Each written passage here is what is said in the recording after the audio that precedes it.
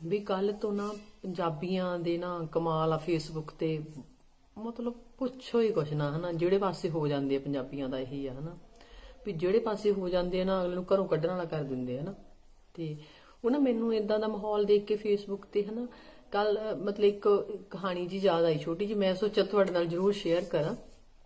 ਉਹ ਇਦਾਂ ਸੀ ਵੀ ਕੋਈ ਬੰਦਾ ਇਦਾਂ ਬੈਠਾ ਇਦਾਂ ਕਰ ਰਿਹਾ ਸੀ। ਹੈਨਾ? ਥੋੜਾ ਜਿਹਾ ਇੱਥੇ ਰਗੜਾ ਜਿਹਾ ਲਾ ਕੇ ਇਦਾਂ ਕਰਦਾ ਪਿਆ ਸੀ। ਤਾਂ ਉਹਦੇ ਇੱਕ ਦੋਸਤ ਕੋਲ ਦੀ ਲੰਘਿਆ ਜਾਂਦਾ ਸੀ, ਉਹਨੇ ਦੇਖਿਆ, ਹਨਾ? ਕਹਿੰਦਾ ਵੀ ਤੂੰ ਕੀ ਕਰ ਰਿਹਾ, ਹਨਾ?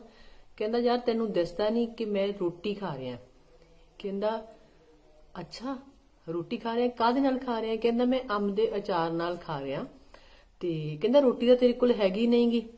ਤੇ ਵੀ ਨਾ ਤੇਰੇ ਕੋਲ ਅੰਬ ਦਾ ਅਚਾਰ, ਨਾ ਰੋਟੀ ਆ, ਹਨਾ? ਕਹਿੰਦਾ, ਦੇਖ, ਮੈਂ ਖਿਆਲਾਂ 'ਚ ਹੀ ਖਾ ਰਿਹਾ। ਹਨਾ? ਤੇ ਕਹਿੰਦਾ, ਅੱਛਾ, ਅੰਬ ਦੇ ਚਾਰ ਨਾਲ ਖਾ ਰਿਹਾ। ਕਹਿੰਦਾ, ਹਾਂ, ਦੇਖ, ਬਹੁਤ ਸਵਾਦ ਆ ਰਿਹਾ, ਹਨਾ? ਤੇ ਫਿਰ ਉਹ ਕਹਿੰਦਾ ਨਾ ਵੀ ਉਹਨੇ ਨਾ ਖਿੱਚ ਕੇ ਲੱਫੜ ਮਾਰਿਆ ਉਹਦੇ।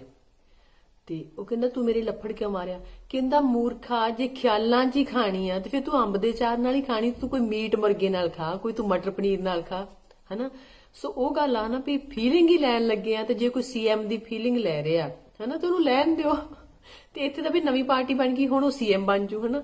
ਵੀ ਜਿਹੜਾ ਇਹਨਾਂ ਦਿਨਾਂ 'ਚ, ਕਿਉਂਕਿ ਠੰਡ ਦੇ ਵਿੱਚ ਹਾਰਟ ਅਟੈਕ ਦੀਆਂ ਜਿਹੜੀਆਂ ਪ੍ਰੋਬਲਮ ਹੈ ਹਾਰਟ ਅਟੈਕ ਜ਼ਿਆਦਾ ਹੁੰਦੇ ਆ ਹਨਾ ਹਾਰਟ ਦੀਆਂ ਜਿਹੜੀਆਂ ਪ੍ਰੋਬਲਮ ਵੱਧ ਜਾਂਦੀਆਂ ਤੇ ਸੋ ਮੇਰੀ ਤੁਹਾਨੂੰ ਇਹੀ رائے ਆ ਕਿ ਸਾਰੇ ਜਾਨੇ ਚੰਗੀ ਫੀਲਿੰਗ ਲਓ ਤਾਂ ਜੋ ਬਿਮਾਰੀਆਂ ਤੁਹਾਡੇ ਤੋਂ ਦੂਰ ਰਹਿਣ ਤੇ ਫੀਲਿੰਗ ਲੈਣ ਚ ਕੀ ਹਰਜ ਆ ਵੀ ਜੇ ਖਿਆਲਾਂ 'ਚ ਹੀ ਖਾਣੀ ਫਿਰ ਅੰਬ ਦੇ ਚਾਰ ਨਾਲ ਜ਼ਰੂਰ ਖਾਣੀ ਆ ਵੀ ਫਿਰ ਤੁਸੀਂ ਸਿਰਫ ਐਮਐਲਏ ਜਾਂ ਐਮਸੀ ਜਾਂ ਸਰਪੰਚ ਦੀ ਟਿਕਟ ਜ਼ਰੂਰ ਲੈਣੀ ਆ ਫਿਰ ਤੁਸੀਂ ਸੀਐਮ ਦੇ ਸੁਪਨੇ ਦੇਖੋ ਸੋ ਸਾਰੇ ਖਿਆਲਾਂ 'ਚ ਆਪਣੇ ਆਪ ਨੂੰ ਸੀਐਮ ਸਾਹਿਬ ਦੇਖੀਏ ਅਹ ਸ਼ੁਭ ਦੁਆਵਾਂ ਸਤਿ ਸ਼੍ਰੀ ਅਕਾਲ ਜੀ